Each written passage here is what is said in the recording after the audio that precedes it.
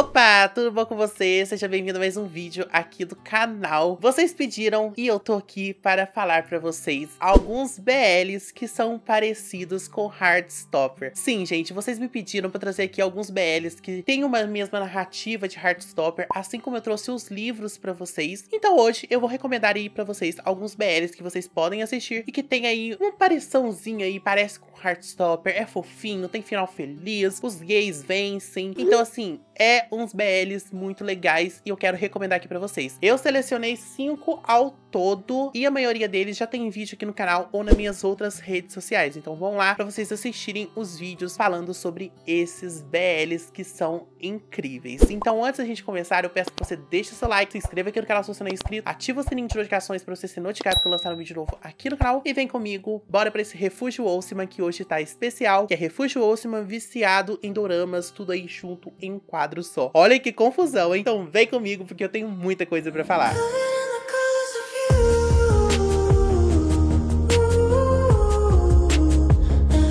Agora que eu vi que eu não liguei a luzinha, né? Deixa eu ligar ela. Pronto. Deu alguma diferença? Não deu, mas ela tá ligada. Bom, vamos começar com Semantic Error. Semantic Error é um BL muito fofo e este BL tá sendo indicado para várias premiações aí. Então eu tinha que recomendar ele pra vocês, porque além de ser um BL que tem um final feliz, ele é um BL que tem um anime to lovers, que é um pouquinho diferente de Heartstopper. É, mas é algo muito fofo, muito legal e é uma história muito bonitinha, muito cuticute. Aqui a gente tem a história de um universitário veterano e um novato. O novato é super inteligente, ele é o queridinho dos professores, mas é o odiado pelos outros colegas, já que ele é super inteligente. Já o veterano, ele é aquele cara que não gosta de nada, que não quer nada com a vida, que vai para festas, que quer pegar todo mundo. É um cara da zoeira, ele é tipo uma celebridadezinha da faculdade dele. E a história deles vão se cruzar quando eles vão fazer trabalho juntos. Só que aí, gente, o veterano faz o novato fazer o trabalho totalmente sozinho e ele não faz nada. Então o novato faz o quê? Só coloca o nome dele no trabalho, fazendo com que o veterano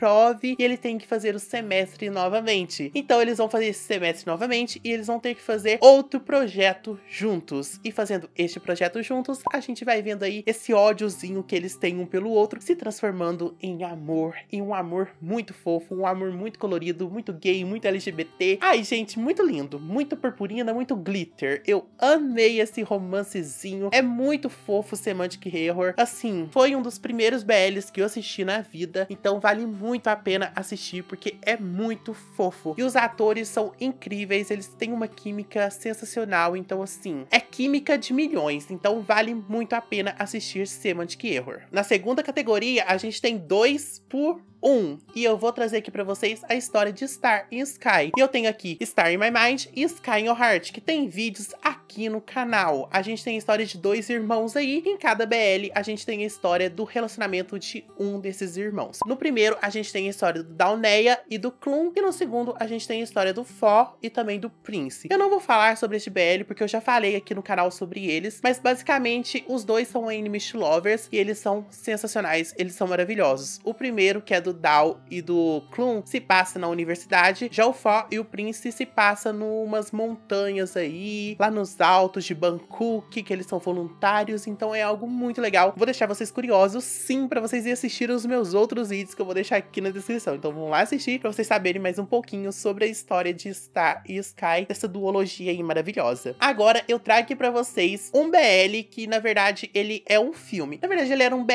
ele era uma série, só que depois ele foi compilado e virou virou um filme, que é Wish You. E este tem na Netflix para vocês poderem assistir. Os outros, vocês têm que me acompanhar no Telegram, porque por lá eu falo onde vocês podem assistir. Porque eu não posso falar aqui no YouTube, porque senão dá problemas aí. Mas lá no Telegram eu posso falar para vocês. Então me sigam lá no Telegram, porque vocês não perdem os melhores BLs que existem aí no mundo, tá? Então me sigam lá que tem muita coisa que eu falo por lá. E em Wish You, a gente tem a história aí de um produtor musical, de um compositor, e ele sempre tá procurando novos artistas para levar para a empresa onde ele trabalha. Então um dia ele se depara com um cantor que ele vê cantando na rua e depois ele vai stalkear a vida desse cantor na internet. Ele começa a seguir ele por todo lugar. Ele leva esse cantor lá para a empresa dele e esse cantor acaba sendo contratado. Só que para esse contrato funcionar tudo certinho, o compositor ele vai ter que morar junto com esse cantor aí para eles cuidar um pouco da carreira dele, ajudar ele nas composições, auxiliar em tudo que ele precisar. E aí a gente vai ter o romance romance desenvolvendo aí. A gente já sabe que o compositor já se apaixona por ele no momento que ele vê ele cantando, mas o outro já não sabia, nem conhecia o cara. Mas aí vai desenvolver um romance e esse romance é muito lindo, é muito maravilhoso e eu amei demais. A resolução, gente, desse BL é linda. Eu chorei no final, chorei muito. Então, vocês têm que assistir o Steel porque é incrível e impecável. E este tem vídeo lá no meu TikTok falando um pouquinho sobre ele, tá? O BL4 que eu trago aqui pra vocês é I Want to See Only You. A gente tem uma história aí, um BL japonês muito fofo, muito lindo, muito inocente, que a gente tem a história de dois garotos que estudam juntos e quando eles são prestes às férias de verão aí chegar, um deles acaba beijando o outro e o outro fica sem entender o que que está acontecendo, porque ele não sabia o que era aquilo, ele nunca tinha questionado os sentimentos dele pelo amigo dele. Então, durante quatro episódios aí desse BL muito curtinho, de no máximo 30 minutos, a gente vai vendo como que vai desenvolvendo essa relação dos dois. E é um BL super sensível, super lindo, super maravilhoso. E ele traz uma fotografia contagiante, uma fotografia que ela conversa contigo junto com a narrativa da história. Uma trilha sonora impecável, atores que atuam super bem. E ele é um BL super inocente, gente. Ou seja, ele não traz uma história pesada, ele não traz uma história triste, é uma história feliz para você rir, para você se apaixonar e você viver esse romance junto com os personagens. Então vale muito a pena. I Want to See Only You é maravilhoso. Estreou esses dias atrás, então assim, vale muito a pena vocês assistirem. E antes de eu falar do último, eu peço que você deixe o seu like nesse vídeo, se inscreva aqui no canal se você não é inscrito, ativa o sininho de notificações para você ser notificado quando lançar um vídeo novo aqui no canal. E eu peço desculpas pela minha voz, que eu tô rouco nesse vídeo inteiro, mas é porque eu tô gripado, gente, mas eu tô gravando vídeo aqui pra vocês. Então me respeitem, pelo amor de Deus, e me perdoem também. E o último BL que eu trago aqui pra vocês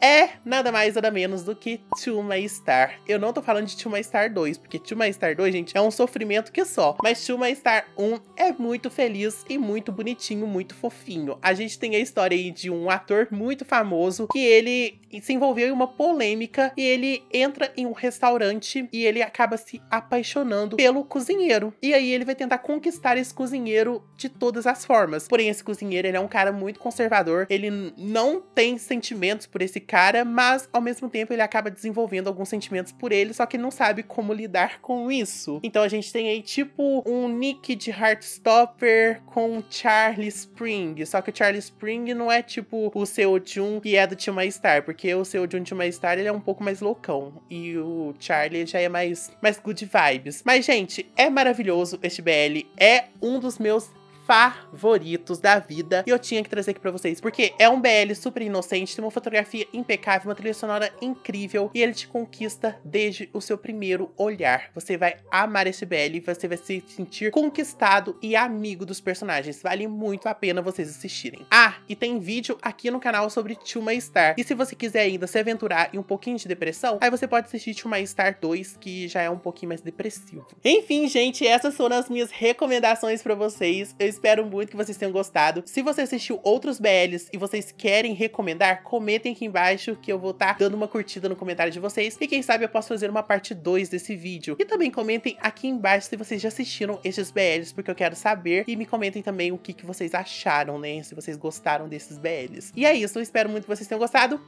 Um beijão no coração de vocês e até a próxima. Tchau!